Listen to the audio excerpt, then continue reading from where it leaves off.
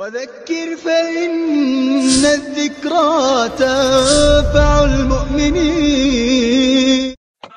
وكيف لا تكون التقوى كذلك يا عباد الله؟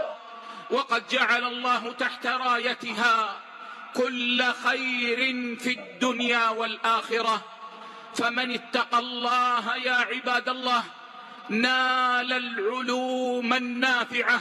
واتقوا الله ويعلمكم الله ومن حقق التقوى يا عباد الله من حقق التقوى يا عباد الله فاز بمحبة الله عز وجل إن الله يحب المتقين ومن أحبه الله حفظه من كل شر كما جاء في الحديث الذي يرويه النبي صلى الله عليه وسلم عن ربه أنه سبحانه وتعالى قال من عادى لي وليا فقد آذنته بالحرب وما تقرب عبدي إلي بشيء أحب إلي مما افترضته عليه وما يزال عبدي يتقرب إلي بالنوافل حتى أحبه فإذا أحببته كنت سمعه الذي يسمع به وبصره الذي يبصر به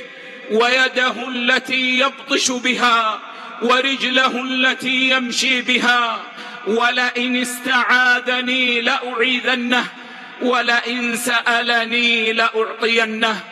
التقوى يا عباد الله سبب لتفريج الهموم والخروج من المضايق في الدنيا والآخرة. يقول الله عز وجل ومن يتق الله يجعل له مخرجا ويرزقه من حيث لا يحتسب